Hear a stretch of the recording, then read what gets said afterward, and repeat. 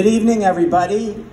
Um, so we're remembering why we moved it to 7:30, because it is so hot, and you guys are sitting there looking into the sun.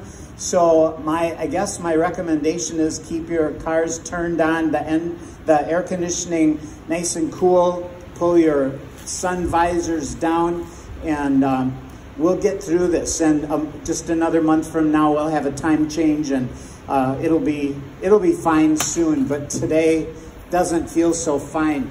Again, um, for the sake of people watching on on computer screens and things, um, I'm Pastor Mark Winkler. This is Emmaus Lutheran Church. Uh, this is Saturday, September 26th, and we're in Orange City, Florida. It's still 94 degrees outside, and um, it, and we're feeling all of those 94 degrees. So welcome to our service. Welcome to your own computer screen if you're at home. We're really glad to be able to welcome people um, in both ways. We have more people tonight. This is the largest parking lot group that we've had. Uh, it looks like a used car lot, um, an unsuccessful used car lot where um, there are no cars being sold because the parking lot just looks wonderful. So glad to have all of you here. We are uh, regathering tomorrow for in person worship at 10 o'clock in the morning. Um, wow, I mean, I could talk about that and the passionate conversations that we had leading up to that decision. Um, but for you, for now, this is the right place. We're really glad to have you here. When the time is right for you, uh, come and uh, come and worship with us on a Sunday morning, 10 o'clock. Couple of things you should know. Masks are to be worn all the time. We're practicing physical distancing. Um, we're not standing and singing. We're not standing at all. We're just keep keep those aerosols down to a minimum. We're not coming forward for communion, but communion will be pretty much like it is for uh, the parking lot worship services. Uh, we're not passing an offering plate, but there'll be an opportunity for you to give an offering to the Lord. And so, uh, those are some of the things that are going on. You're always welcome to join our Bible study tomorrow morning. Uh, it's at 11 o'clock. That's really ambitious. We have worship at 10. I'm hoping to be back home in DeLand at 11, but if it looks like I can't get there, I'll just lead it from the church here. But you can get the login information and the study guide by emailing uh, a request to sbee47 at hotmail.com. sbee 47 at hotmail.com. A lot of fun discussion goes on in that group, and we hope that you sometime take the opportunity to join us. Uh, you know what's going on in the world. Um, things, some things change quickly, and some things don't change quickly, and and we're part of all of it, and we're all in this thing together. Um, we there are many concerns locally, um, as in the state of Florida uh, nationally and on the world arena. There are so many things for us to be aware of and to be prayerful of. Um, so, um, all of the things that are going on, uh, invite you to keep your own prayers going, and um, please join me in a word of prayer right now. Holy and loving God, we give you thanks that you have called us to this place this evening. We give you thanks for the beautiful day, the sunshine, the nice breeze that is blowing, uh, and and we give you thanks for. I'm saying it, air-conditioned cars. We give you thanks, God, that your love surrounds us wherever we are and however we worship. We pray that you would be with us tomorrow morning as we open our doors and gather together for in person worship. Lord, keep us safe, keep us vigilant, keep us humble in your presence. We pray for concerns that are going on locally, statewide, nationwide, and worldwide. All of those things that we see on the news and that trouble our hearts and and things that are on our minds and in our conversations with others. We pray that you would bring restfulness to a restless world. Help us to trust in your love and your mercy. Help us to, um, to listen to the word of Scripture that teaches us to trust in you more than anything and above everything. We pray all of these things, God, as we as we turn our hearts to you now in worship and as we give thanks for the gift of your word and the gift of your son. We pray these things in his holy name. Amen.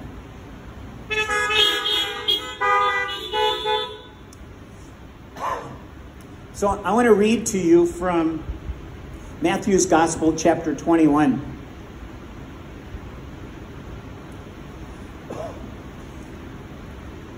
When Jesus entered the temple, the chief priests and the elders of the people came to him as he was teaching, and they said, By what authority are you doing these things that you do, and who gave you this authority? Jesus said to them, I will also, also ask you one question. If you tell me the answer, then I will also tell you by what authority I do these things. Did the baptism of John the Baptist come from heaven? Or was it of human origin? Now they argued with one another, and they said, Well, if we say from heaven, he will say to us, Why then did you not believe him? But if we say it came from human origin, we are afraid of the crowd, for everyone regards John as a prophet. And so they answered Jesus, We do not know. And Jesus said unto them, Neither will I tell you by what authority I am doing these things. Jesus said, What do you think? A man had two sons. He went to the first and said, Son, go and work in the vineyard today. And he answered, I will not. But later on, he changed his mind and he went to work. The father went to the second son and said the same. And he answered, I go, sir. But he did not go. Now, which of the two did the will of the father? And they said, The first. Jesus said to them, Truly I tell you, the tax collectors and the prostitutes are going into the kingdom of God ahead of you. For John came to you in the way of righteousness, and you did not believe him. But the tax collectors and the prostitutes believed him, and even after you saw it, you did not change your minds and believe him. This is the word of God for the people of God. Blessed be the Lord, the God of Israel, from everlasting to everlasting. Let the people of God say together, Amen. Now, Charles Dickens wrote a book a long time ago. All of them were written a long time ago. It's called Great Expectations, and it's about a boy named Pip. It's a story of coming of age, and there are lots of themes in the in the story love and rejection, good versus evil. There are um, stories of, of tragedy, of death and dying. There, part of the story focuses intently on money, on wealth. That's the reason I'm bringing it up right now. In fact, that's what the, the, the title refers to great expectations. And the expectation was an understanding that wealth or money would be an important part of Pip's upbringing. That even though he was an orphan, he was sponsored as an apprentice. He was he was paid. His way was paid to um, to go to locations to work on jobs. There was always the expectation that when money was needed, money was going to be there. Now I could say that this is going to be now a stewardship sermon, but it's not. What it is, is a story of expectation where God, um, through his son Jesus Christ, is, is putting before us a parable that shows a father with great expectation for his sons. Now, the reason he tells this parable is because Jesus has been just challenged by the chief priests and the elders of the people. And they come to Jesus and they say, who gives you the authority to do these things that you are doing? Now, what's he doing except that he just rode into Jerusalem on a donkey and the people praised his name, saying, um, Hosanna, Hosanna to the King of Kings. Blessed is he who comes in the name of the Lord. You, we know that Sunday, right? We call it Palm Sunday. And we know that when Jesus rides into Jerusalem on a donkey, on the colt, the foal of a donkey, that he's in his last week of life. And when he gets into Jerusalem, he heads for the temple. And what does he do when he gets to the temple? We find Jesus the angriest he has been in his whole ministry. And he goes to the temple and he sees money changers who are making a mockery out of his father's house. And he turns those money changers' tables over and he chases them out. Now, they were performing an important task so that the people who were traveling to Jerusalem for the Passover celebration, that they would have an opportunity to change their currency to the correct currency, or they would be able to buy unblemished offerings of, of um, sheep and doves, that they would be able to uh, purchase unblemished uh, offerings to offer to the Lord. It's tough to bring a sheep or a goat or a calf a long distance and have that offering not become blemished on the road. So these money changers were doing a good thing and they were providing uh, an important revenue for the temple, a revenue that would support the priest's work, a revenue that would be paid to the Roman occupied um, uh, governing body, and it would um, it was a, an important revenue that was needed and Jesus kind of wrecked that. By whose authority are you doing this? They asked Jesus. Jesus, he answers their question with a question. He says, I'll answer your question if you answer my question. He says, You've heard of John the Baptist, haven't you? And they said, Yeah. He says, Whose authority did he have? Was his authority from God? Was his authority to baptize and and preach a, a, preach a message of repentance and forgiveness of sin? Did that message come from God, or did human people give that to him? Well, they got together and they said, "Well, if we tell him that it came from God, he's going to say, then why didn't you believe it? Why didn't you respond to it? Why didn't you go to John the Baptist and confess your sins and repent and be baptized? Why didn't you listen to him? So we can't say it was from heaven. But we also can't say that it was from humans because if we do, we're afraid that the people will rise up against us, and we can't have that happening either. We can't have people questioning our authority and the reason why they might rise up against the chief priests and the elders is because the people believed that John the Baptist spoke the word of the Lord by the authority of God Himself. So they couldn't say it came from people because people knew it came from God. And they would be mad at the chief priests and elders. Even though they had the answer that they wanted to give Jesus, they said, We don't know. And Jesus says, All right, I'm not going to tell you who gives me my authority either. And then he tells them this parable. That parable of the father with great expectations of his sons. He goes to the first son and he says, Son, go work in the field. And he says, Not going to do it. Not going to work in the field. It's hot. But later on, he changed his mind and he went and worked in the field. Jesus continues his story that he's telling to the chief priests and the elders. He said, Then the man went to his second son and he said, Son, go work in the field. And the son said, Okay, I can do that. But then he didn't. Jesus says to the chief priests and the elders, Which son did the will of the Father? And they said, The first one did. They're only partially right. Because that first son said, not going to do it. And then he went and did it. That's not what the father wanted to hear.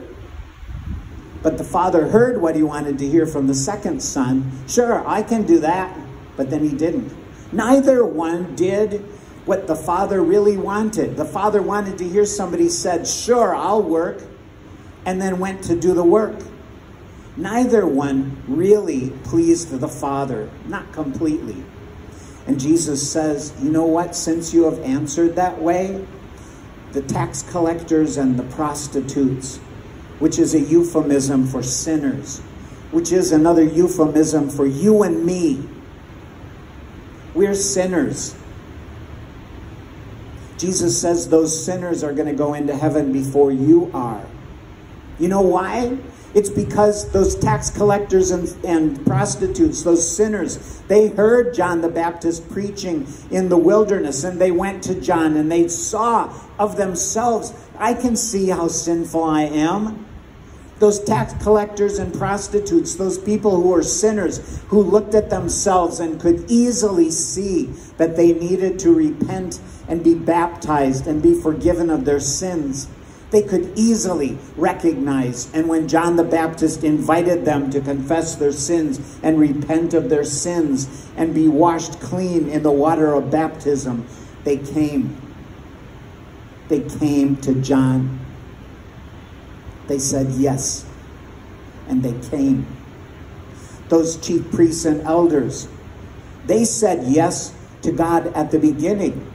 They knew maybe all their lives that they wanted to be people of faith who lived the faith right away from the first thing they knew about. They were saying yes to God, but when it came to the time of listening to John the Baptist preach a, a message of baptism for the forgiveness of sins and people's need to repent, they thought of themselves, well, that's good for those who need to repent, but I don't need to repent. And that's where they were wrong. Those tax collectors and prostitutes, those people who were sinners. Maybe we could say, in some fundamental way, at the beginning of their lives, they were saying no. They were saying no and living their lives for their own pleasure and their own purpose. But when they heard John preach the word of God, then they said yes. Those righteous, self righteous, chief priests and elders of the people. They thought of themselves as being those who were not in need of repentance and forgiveness. They thought they did not need a baptism of John the Baptist, whoever he is. They're righteous on their own. So they said, no thanks. So Jesus says those people who recognize their need for transformation in their lives, they're going to go into the kingdom of heaven before you are. Now, I want to tell you about the process that we had for deciding to um, unlock the doors and open ourselves up for in person worship. We were looking for a word of authority. We were looking for clear, clear information that we could trust and follow. Information that talked about the the um, infection rate for Volusia County and even specifically for Orange City and DeBary and Deltona and DeLand. We were looking for that authority that would say to us, you can trust these numbers, but what can you trust these days? We came to those Zoom video conference meetings with lots of information, and it didn't all agree with the information that another person at the meeting brought. Where do we go? Who do we trust? We had to decide. And we took that step of faith. We had to come to a decision about when we were going to meet for in person worship. We had to decide how we were going to go about doing that. What's the process? What, what are the directions that we give people as they arrive? Um, we, we had great ideas and we thumbed down several of those good ideas and we thumbed up several other good ideas and we have what we have. Those chief priests and elders were looking for confirmation of the authority of Jesus. By whose authority do you do the things that you do? Where do you get your information? Where do you get that power? We want to know that we can trust what you're saying, what you're doing. We want to know that when when you bring us a message that it's a message that holds true. That's what we're always searching for. Truth. We want somebody to tell us the truth. We want to hear accurate information that we know guides our life, our faith, our purpose. We want to know that when we um, when we are looking for truth, when we listen to voices of authority, that we're listening to someone who speaks truth to us. You know what? Here's probably the very best news of all. Jesus, he says to the to the chief priests and the elders, he says, you know, those tax collectors and sinners, those you know, those sinners are going to come into the kingdom of God before you. But you know what that means? It means that even the ones who are like the second son, who said yes at the beginning, yes, Lord, I'll turn my life over to you. Yes, I'll be a chief priest. Yes, I'll become an elder of the people. Yes, I will lead people's religious thinking and, and guide their lives. But no, I won't believe John the Baptist. I won't believe authority that's not my own, is probably what they were thinking and living out. But even those people who said yes and then didn't follow through, Jesus opened the door for them too. Jesus, he opened the door and he said, Everyone is going to come in. Those sinners are going to come in first and you're going to come in behind them. That's the good news that Jesus has a bigger picture in mind.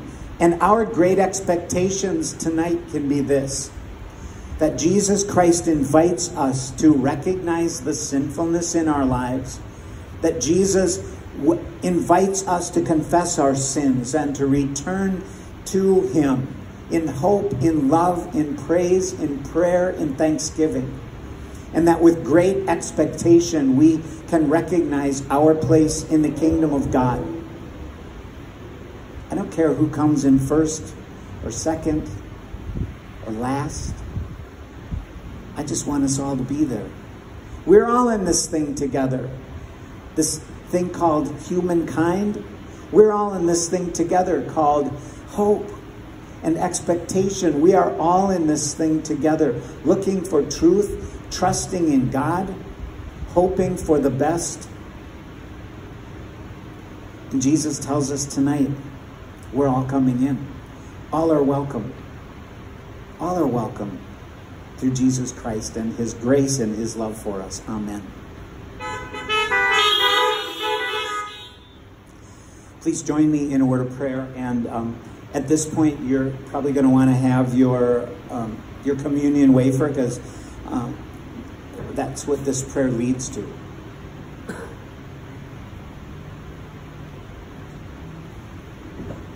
Let us pray. Faithful God, you have provided all that we need. You speak truth to us. You give us a word of truth, the Bible. You give us hope. You give us more than we need, more than we can ask for, more than we can expect. And yet we do have great expectations, Lord. We sit here today, either in our cars or we're going to sit in front of a computer screen and we're going to sit with great expectations at this assurance that each of us will come to you in your kingdom. We give you thanks, God, that you have made a way possible for each of us to join you. We recognize our own sinfulness and we confess before you. In our own thoughts, our own private thoughts, we confess before you our need to repent and to receive forgiveness. We repent of the things that we've done wrong and said wrong and thought wrong. They hurt other people and they hurt us. We confess to you the things that we didn't say and didn't do and didn't think about that would have made a positive difference for somebody who is vulnerable or in need. Those hurt people too. They hurt us too. We confess the things that would be all of our shortcomings, all of the ways we've disappointed you and others and ourselves. And we lift those up to you, God, knowing that your shoulders are big enough to carry the weight of our sinfulness and the weight of the whole world upon your shoulders all at the same time. We ask you, God, to forgive us. We ask you to lighten our hearts, ease our burden, that you would help us to continue our journey in life with the hope and the great expectation that belongs to those who trust your word. And now, God, we give you thanks for the gift of your Son, Jesus, for in his living and in his dying and in his rising, he gives us the gift of his body to eat. And as we eat of his body, we remember all that he has done for us. When we eat of his body, we take part in the sacrifice that he made for us. And so, Lord God, we give you thanks for the gift of your son, for his body that was given for you, for each you that's out there, for each one of us who has been promised our place in the kingdom of heaven. It's for me, for you. We ask you, God, to bless us now as we share in communion, feasting on the body of your Son, Jesus Christ, for the forgiveness of our sins. And we, pr- we pray all of these things through your Son, Jesus Christ, who has taught us to pray together. Our Father, who art in heaven, hallowed be thy name. Thy kingdom come, thy will be done on earth as it is in heaven. Give us this day our daily bread, and forgive us our trespasses, as we forgive those who trespass against us. And lead us not into temptation, but deliver us from evil. For thine is the kingdom, and the power, and the glory, forever and ever. God's people say together, Amen. The Lord bless you and keep you. The Lord's face shine on you with grace and mercy. The Lord look upon you with favor and give you peace in the name of the Father and of the Son and of the Holy Spirit. Amen.